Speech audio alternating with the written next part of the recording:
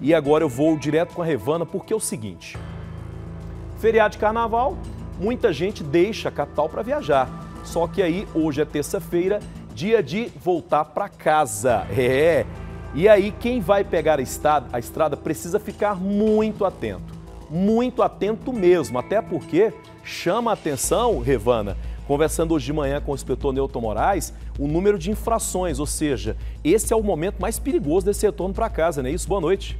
Boa noite, Fred. Boa noite a todos. Exatamente, né? As pessoas ficaram quatro dias fora, né? Alguns até mais que isso conseguiram ampliar ainda mais esse carnaval e aí depois querem voltar com muita pressa e é onde esses acidentes acabam acontecendo. Né? A gente estava falando agora há pouco aqui, o Major Cleiton está aqui ao meu lado, vai participar com a gente dessa entrevista para a gente falar justamente sobre esse tema. Muita gente nessa pressa acaba ali acontecendo saídas de pista, né? Às vezes invade a pista contrária e ocasiona aí vários vários tipos de acidente. Então a gente já começa fazendo um alerta para o motorista que vai pegar a estrada hoje no finalzinho do dia e às vezes amanhã de manhã. Muito boa noite para o senhor. Então vamos começar alertando o motorista. Primeiramente, calma nesse retorno para casa.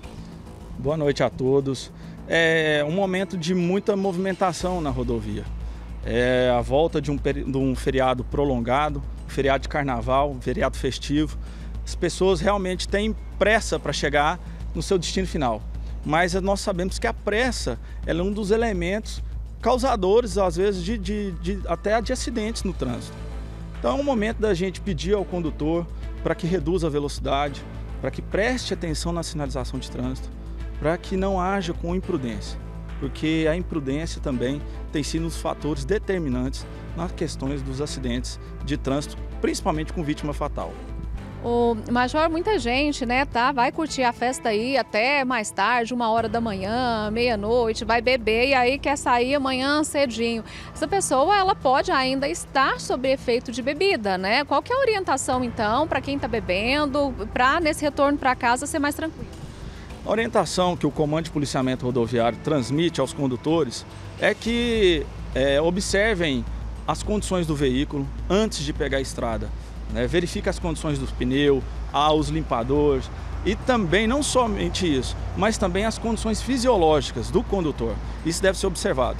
A questão da bebida alcoólica, o cidadão fez a ingestão do, na noite anterior, ele deve sim aguardar um longo período né, para poder, só assim, quando estiver restabelecido suas condições físicas, né, que ele possa pegar a condição do seu veículo. E também, é, aliada a isso, a questão do cansaço não só a questão da bebida, mas a questão do cansaço, uma noite mal dormida, né, não descansou, então isso também é, tem resultado no, no, nos acidentes de trânsito nas rodovias. Qual que é o melhor horário para voltar, né? Se ele estiver em boas condições, né, físicas falando, melhor voltar hoje, ou melhor voltar amanhã. Geralmente nesse período de carnaval, quando é mais tranquilo para o motorista? Olha, é, no final, sempre no, no final do dia, é um período mais de maior movimentação nas rodovias. A pessoa passa ali o dia com a sua família e no final da tarde ele, ele quer se ir embora. Mas é, é fugir desses horários de pico. Às vezes no início da manhã, né, ou no horário do almoço. Então, assim, sair dos horários de pico para poder tentar pegar uma rodovia com menos movimento. Vale lembrar que a ah. polícia. Oi, Fred. Desculpa, deixa eu te interromper aqui um pouco só para perguntar uma coisa para o Major, porque o que que acontece? Primeiro, Major, muito obrigado por aceitar o nosso convite.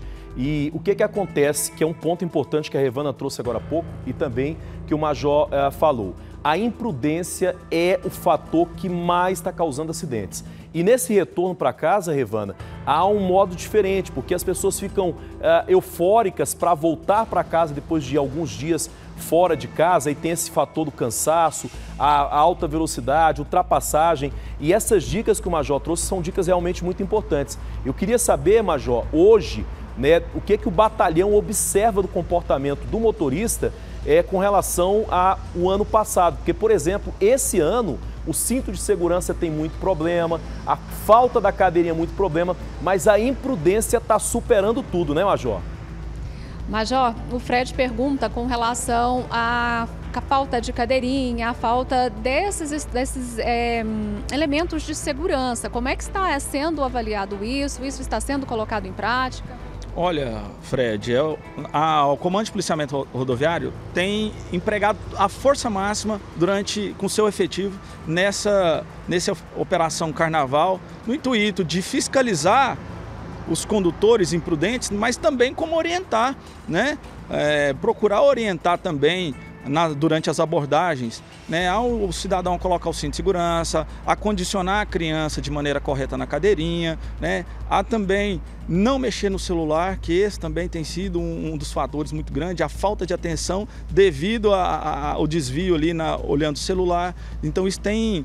E a gente tem procurado estar tá na mídia, nas redes sociais, informando o condutor e trazendo ele essa consciência para ter um trânsito mais seguro.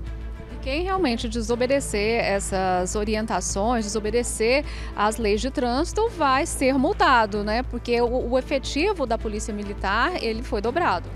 Sim, é, nesse primeiro momento a gente tem procurado alcançar o condutor num, numa medida preventiva, uma orientação. Mas se a gente percebendo que a orientação não está surtindo efeito, será passado para uma segunda etapa, que é a autuação.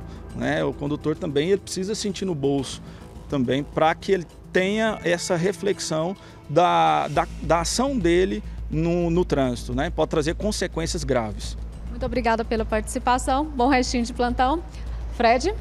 Revana, muito obrigado. Agradeço também ao Major aí pela participação aqui, trazendo as informações aqui dentro do Cidade Alerta. Revana volta daqui a pouco com a gente.